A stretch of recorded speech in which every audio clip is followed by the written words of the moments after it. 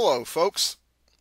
This short video is about my small Polar Lights C-57D Star Cruiser from the classic film Forbidden Planet. This version of the model is only 14 inches in diameter as compared to Polar Light's larger 27-inch model. As with the larger version, this model is very nicely detailed. It even has movable stair and ramp panels. Like the larger version, however, it was not designed for lighting effects. But I added some anyway. Anyway, sit back and enjoy the show.